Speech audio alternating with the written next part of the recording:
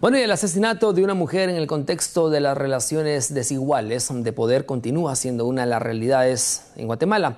La puerta de entrada para acceder a la justicia aún la ve muy lejos a quienes de manera despiadada les han arrebatado a un familiar, como en el siguiente reportaje.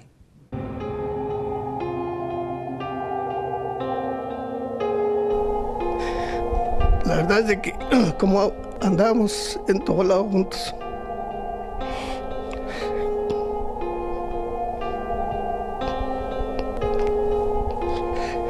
Ha sido muy difícil, señorita. No nos imaginábamos que nos íbamos a enfrentar ante esto. Eh, nos cambió mucho, mucho la vida. Se imagina eh, nosotros con nuestra familia, los nietos.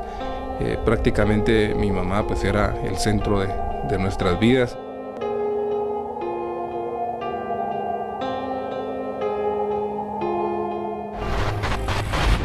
En segundos, la vida de cualquier persona puede dar un giro inesperado. Este fue el caso de la familia Reyes Pérez. La noche del sábado 18 de octubre del 2014, Nivia Pérez, de 62 años, se encontraba sola en su casa, en el residencial Jardines de San Cristóbal. Irónicamente, esto fue aprovechado por los mismos guardias que estaban a cargo de la seguridad. Este era el hogar de Nidia Reyes, quien vivió acá junto a su familia durante varios años, sin imaginar que este mismo lugar sería donde sujetos armados le quitarían la vida. Ahora su familia exige a las autoridades justicia. Lamentablemente, eh, mi mamá eh, aparece o la encuentran las autoridades cinco días después, ya sin vida, en el barranco. Y estudios que hace el INASIF eh, confirman que mi mamá estuvo tirada, desamparada en ese barranco tres días con vida, porque cuando apareció ya tenía dos días de haber fallecido. El femicidio es el tercer delito con más incidencia en el país. Durante el 2015 y lo que va del 2016, el Departamento de Guatemala registró la mayor cantidad de casos, seguido de Zacapa y El Progreso. De estos, un alto porcentaje han quedado en la impunidad. Y pues luchar y tener la esperanza de que, que la vamos a ver en una resurrección, ¿verdad? Porque esta es la esperanza que yo albergo, que albergamos todos, poderla ver otra vez, poderla abrazar, porque sí la extrañamos mucho, la extrañamos mucho. Y lo que más quisiera es decirle, mamita, se hizo justicia, están todos pagando por, lo que hicieron.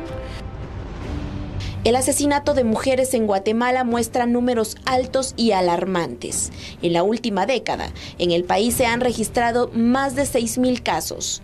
Julio Pérez es una víctima colateral de la violencia contra la mujer, pues con 15 puñaladas le arrebataron la vida a la mujer con quien vivió varios años. Es doloroso que mi hijo venga y me diga, papito, ajustemos para comprar otra mamita y le puedes llamar Silvia. Yo creo que eso es doloroso que un niño, que un hijo le diga así a uno, ¿verdad? Yo le, le pido a las autoridades que caiga todo el peso de la ley sobre ellos, que paguen lo que hicieron porque no mataron a un animal, mataron a un ser viviente y nadie tiene derecho de quitarle la vida a un ser viviente, dejar en la orfandad a un niño. Este crimen ocurrió en el Progreso, en donde dos hermanos y un tío, cercanos a la víctima, fueron los aparentes responsables, hecho que ocurrió frente a su pequeño hijo de cuatro años. Le di mucho amor, mucho cariño para que él no sintiera mucho la, la muerte de mi hermana, pero sin embargo él todavía la, dice que le extraña. Ahí cargo canciones de él que le canta a la mamá. Y verlo a él, pues lo abrazo como que yo lo estuviera abrazando a él. Es lo que le pido a Dios, que hagan justicia por él. En estos dos casos de los cientos que ocurren en el país, se ha comprobado la relación desigual de poder entre hombres y mujeres. Se evidencian una serie de circunstancias que dan origen al nombre de femicidio, como una forma despiadada y con extrema violencia con que privan a la mujer de la vida.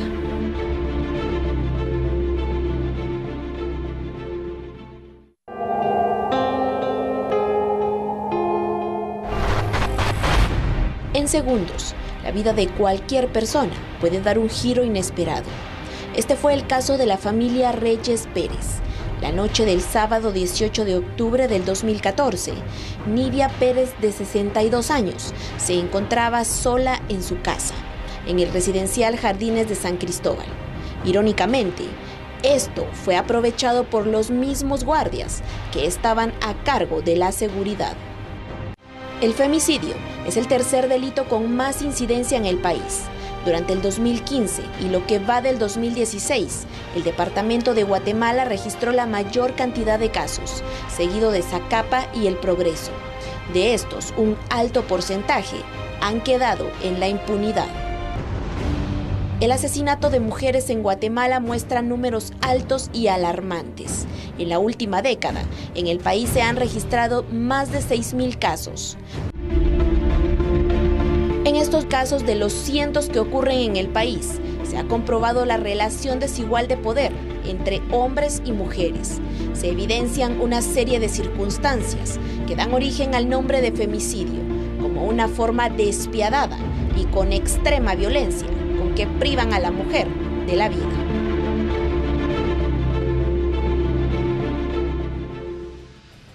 Bien impactante estos casos de femicidio en el país, son más de 6.000 casos los que se conocen hasta el momento y hoy precisamente por la mañana se localiza otro cuerpo de una mujer en Ciudad Quexal envuelta en bolsas de nylon y esto pues se suma a los 6.000 casos que van registrados en Guatemala y esto preocupa a las autoridades. Y hoy lo queremos abordar en TN23 en la entrevista y por eso nos acompaña la licenciada Carla Campos del GAM, quien nos va a dar a conocer detalles muy alarmantes también, licenciada, porque esto, esto va en incremento y no es de 5 años o 10 atrás. Esto venimos conociéndolo de 15 años, ya lo decía la Procuradora de los Derechos Humanos, eh, que desde el 2010 para acá se empezó a incrementar estos casos de violencia contra la mujer y no digamos el femicidio.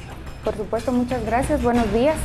Sí, es totalmente cierto y hay un detalle muy interesante que es precisamente cuando entra en vigencia la ley de femicidio, cuando empieza a incrementarse el número de muertes de mujeres en el país. Entonces esto eh, en, algún, en algún sentido se podría analizar de que cuando se aprueba esta ley tendría que haber reducido. Sin embargo, esto no se dio. Pueden ser varios factores y uno de esos factores puede ser que la denuncia eh, ha incrementado, pero no solo puede deberse a esto, sino que tiene que ver también con que incluso eh, Guatemala tiene altos niveles de machismo. Entonces es, estos niveles de machismo eh, repercuten obviamente en todo el tema de que las mujeres puedan desarrollarse y desenvolverse en una forma igual.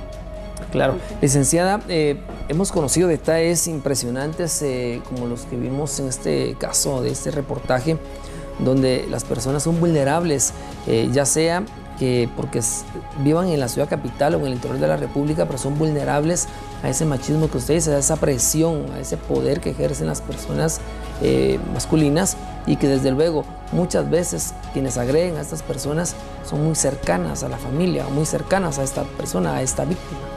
Claro, y regularmente es precisamente lo que pasa.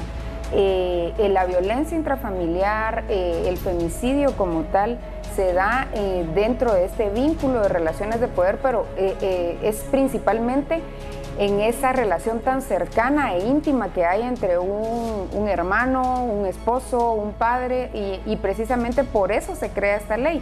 Además de esto, el Estado deja establecido dentro de la ley de femicidio de que eh, como prevención se van a realizar campañas de difusión y de todo tipo para que las mujeres empiecen a conocer sus derechos y que pierdan ese miedo a hacer la denuncia respectiva.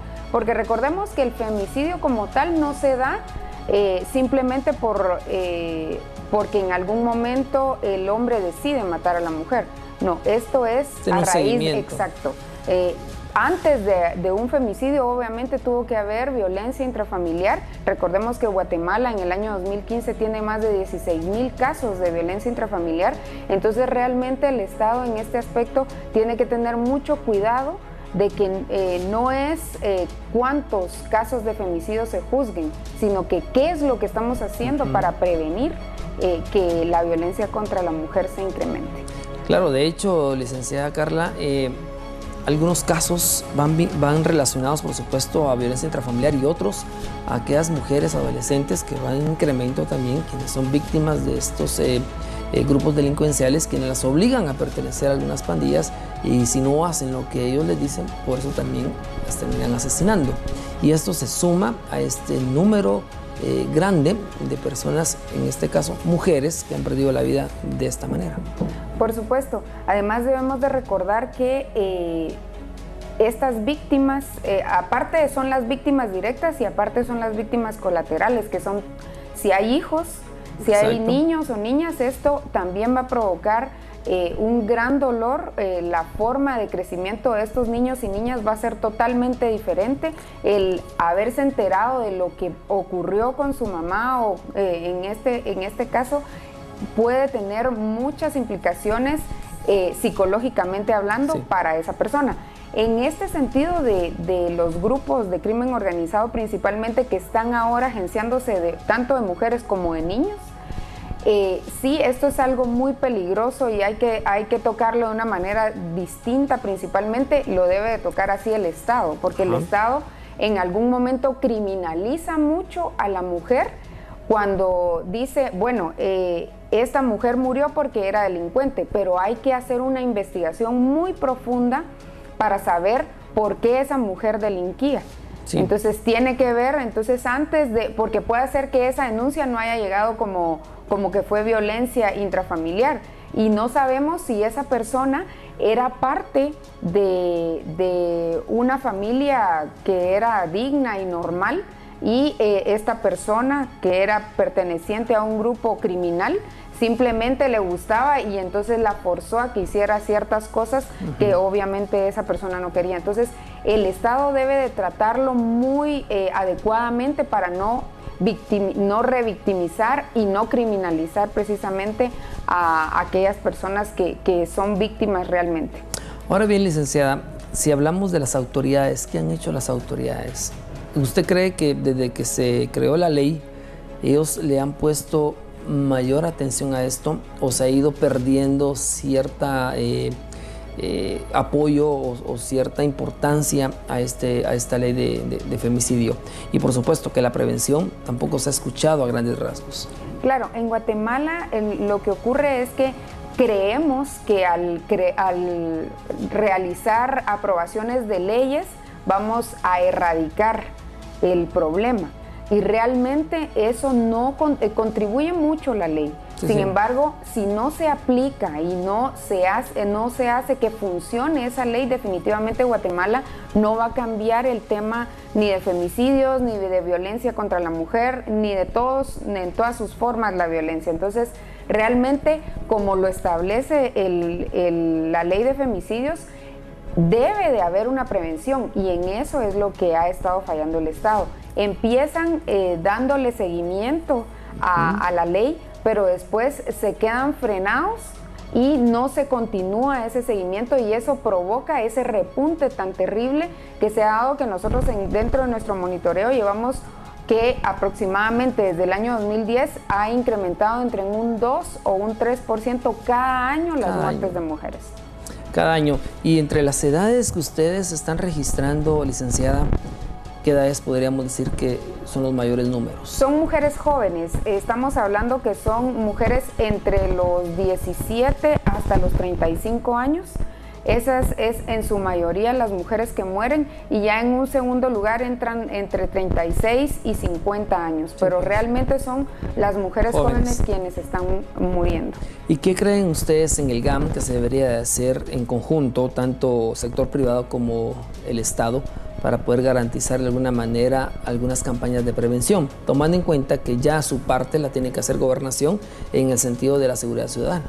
Por supuesto, bueno, eh, uno de los aportes, por ejemplo, que hacemos nosotros como sociedad civil es que las mujeres que se acercan a nosotros eh, contándonos lo que, sus casos, lo que ocurre, nosotros tratamos de asesorarlas y enviarlas a los lugares específicos.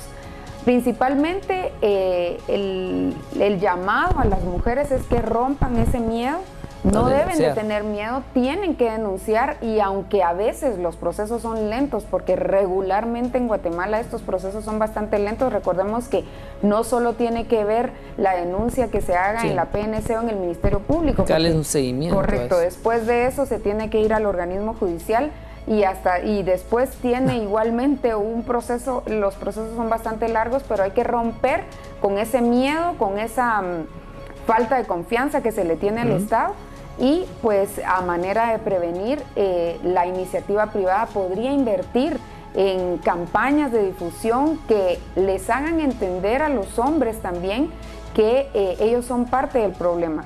Que las mujeres, el hecho de que no denuncien es un problema, pero los hombres deben de aprender a respetar esas relaciones entre mujeres y hombres para que así podamos cambiar en ese aspecto.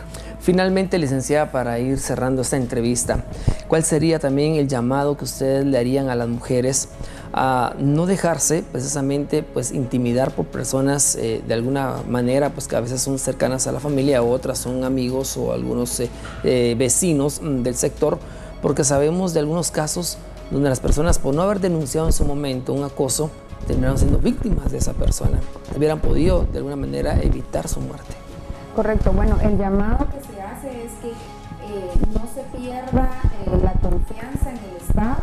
Además de eso, no solo hacer denuncias, sino que si no tienen el ánimo de ir directamente a una institución pública, que se lo cuenten a una amiga, a su mamá, a una hermana, a familiares, porque esto ayuda mucho a que en algún momento la mujer pueda sacar esa carga que tiene y que lleva ahí adentro entonces es importante principalmente si hay niños, porque obviamente eso lo trasladamos a nuestros hijos si no eh, nos amamos. Principalmente como mujeres tenemos que amarnos, tenemos que saber que valemos mucho y eh, creo que otra de las cosas que es importante para las mujeres en Guatemala es que nos debemos de educar. Tenemos que aprender a, educarnos en todo aspecto de la vida, que esto nos va a hacer que nos vayamos superando eh, cada día más. Licenciada Carla Campos, gracias por haber estado con nosotros. Representante del GAMIA, usted, amigo televidente, ya escuchó una propuesta más, un punto de vista diferente al sentido del incremento de casos de femicidio en Guatemala y por supuesto que la recomendación es clara. Eh, las autoridades deben de ponerle pues, eh, atención a esto. De hecho, la gobernación tiene que darle la seguridad ciudadana a las mujeres y a todos los guatemaltecos por igual, pero por supuesto el llamado es para las mujeres que denuncien al momento de ser víctimas de alguna amenaza o algún acoso por parte de algún familiar, vecino o algún amigo. Momento de la pausa, ya regresamos.